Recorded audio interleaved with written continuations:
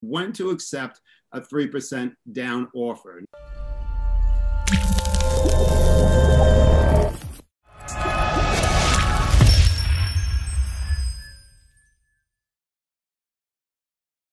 The first topic we're going to discuss is when to accept a 3% down offer. Now, a lot of people might think, Mark, you're crazy for even bringing that topic up. We are in a hot sellers market here on Long Island, and who in the world would want to accept a 3% down offer? Well, there, believe it or not, there are certain times when that might be the offer that can net you the most money.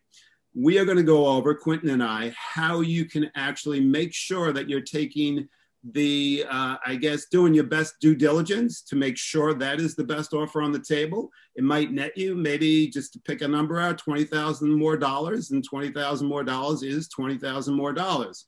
So how do we go about evaluating the offer? Well the first thing is i wouldn't even consider it unless it is one of the strongest offers on the table. So we're going to go through how to evaluate a strong offer Number one, it is one of the highest offers. If it's a real lowball offer, then it's really not something you want to consider. Number two, it is backed by a strong pre approval. And Quentin's going to go over what that is uh, in a little while. Three, it, there's nothing attached to it. You got the best terms. Sometimes people present offers on the table and there's a lot of baggage attached to it. And we'll go over that in a little more detail momentarily. And four, the agent or the homeowner, if you're selling your house on your own, has the ability to get in, t- in contact with the mortgage banker.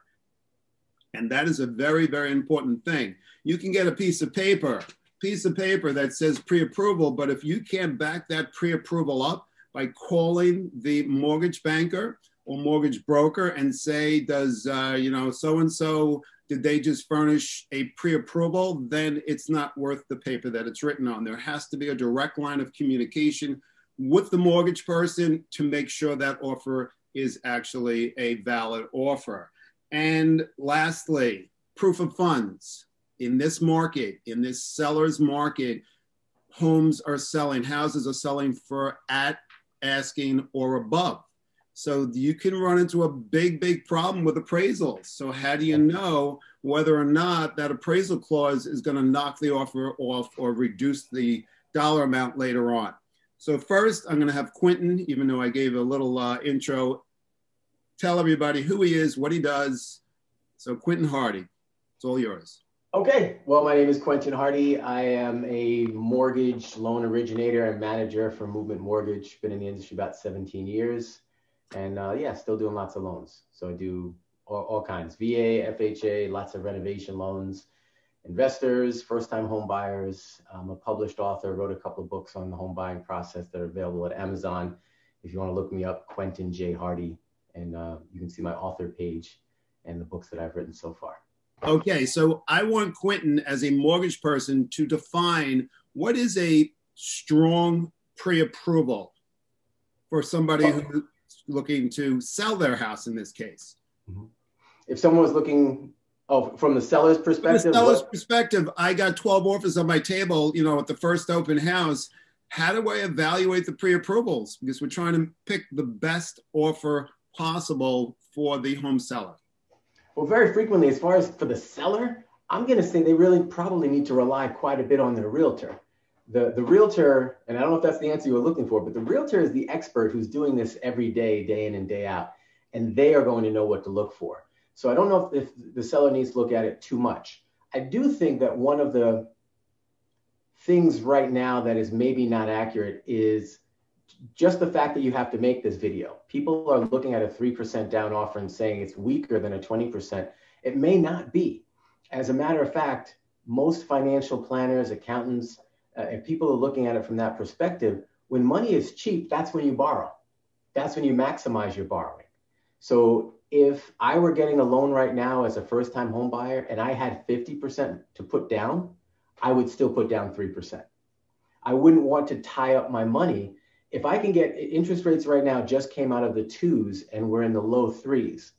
If I could borrow money at the low threes and then have that as a tax write off because it's interest on a home loan for my primary residence, that money is really cheap.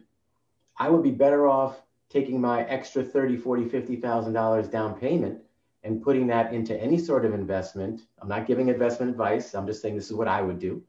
I'm better off paying off any other financial obligation or debt that I have that's a higher interest rate, which is probably going to be almost everything. So just because a person's putting down 3% doesn't mean they have only 3%.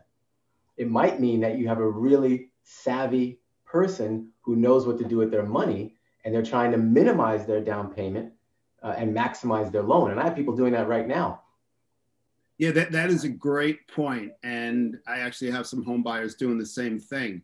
They are, you know, AAA buyers, I would say. They're, they're credit worthy, they have the finances, but they spoke to their investment professional and they told them exactly what you're saying. With the interest rates being historically low and the market and investing, you know, averaging a significant amount more, uh, at least over a 10 year basis, and you lock in your mortgage for 30 years, that's a significant gain for most people. So definitely that is something to consider for a home seller. Just because it's a 3% down doesn't mean it's the highest risk. They could have a glowing credit report. They could have a large sum of cash reserves in the bank, and yep. they I might be a better they might be a better risk than the person putting you know 20% down who that's the only cash that they actually have they've been saving and that's it so very good point so 3% down mortgage is not always the last resort and it could net you again the sellers it could net you more money at the end of the day and if that's what you're looking for, then definitely don't discount those 3% offers on the table. Great Absolutely. point, Quentin.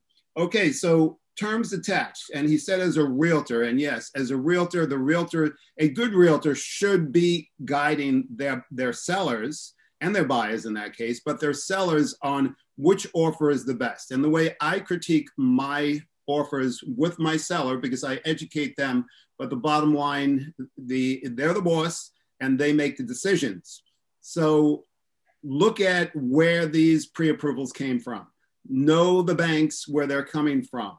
Ask your realtor, have you heard of this bank? If they say no, well, the realtor, I would call up the people and I would speak to the loan officer, like Quentin in this case, or some of these uh, internet um, banks where you just type in your numbers and they automatically send you a pre-approval at rocket speed. I'm not mentioning the name of any company, but they send you these pre-approvals.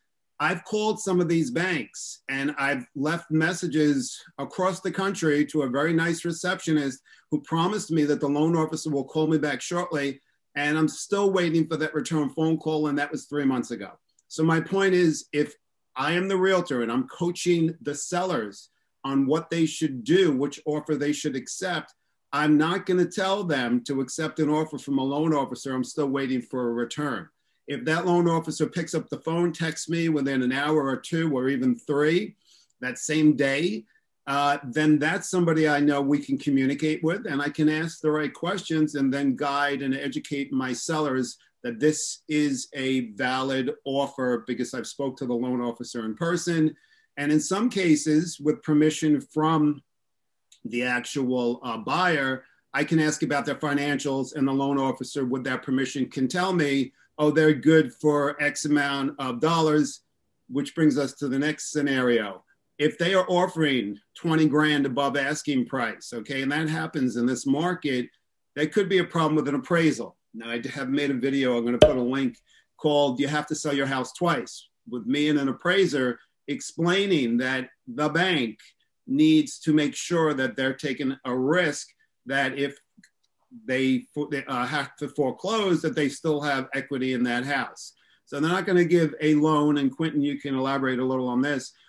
When will a bank give a loan on a property, talking appraisal wise, as a loan officer? Well, the, the purpose of the appraisal is to make sure the value of the property supports the transaction. So just like you said, it's risk mitigation we don't want to lend $500,000 on a $200,000 house, for example. So we just want to see the numbers. Now, your question as far as when we will lend, understand that most of the loans, if not all the loans that you're going to be seeing, are based on a percentage of the purchase price or the appraised value, whichever is lower. So if someone is buying a $500,000 property and it appraises for 520, we're going to use 500,000 as our number. That's the contracted number for uh, for the down payment, the loan amount, everything like that. Now, if you reverse those numbers, let's say they're buying it for 520 and it appraises for 500, well, we're going to give a percentage of the 500. So now their 20% down is based on the 500, et cetera, et cetera, which means the difference between the 500 and the 520, they're going to be short. And what we're seeing in this market because of supply and demand that the sell the buyer at that point has to make up that overage. They can pay the extra 20 if they still want the house. And we're seeing that very frequently in the contract. But obviously, like you said, if it's a 3% down buyer, you want to make sure that that buyer still has the extra 20%, the extra 20,000 in this scenario to be able to make that overage, to be able to cover that, that gap.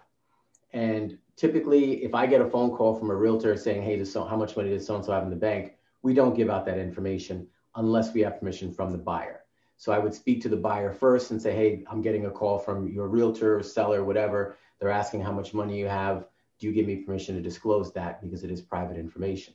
Um, most every buyer in that situation say, yes, I want you to confirm that I have the money. Tell them, you know, show. And so, sometimes even the buyers will send proof of funds to say, hey, here's a bank statement. Look, I got 3%, I got the extra, I got everything. But um, yeah, that's that's where the appraisal and the overage, underage is going to be important considered. And on that note, we talked about in the beginning in my intro, I talked about being attached to anything, and that would be either a house or a lease. Some um, home buyers do not want to break their lease because it could be a substantial penalty. If they tell you their lease is expiring in a month or two, not a big deal. Or if they say they don't care, they spoke to their landlord and they're willing to release them from their uh, lease, then they're not really attached to a property. So, with that being said, I hope we earned your double thumbs up. Don't forget to subscribe and hit that little bell down there to get push notifications for future videos.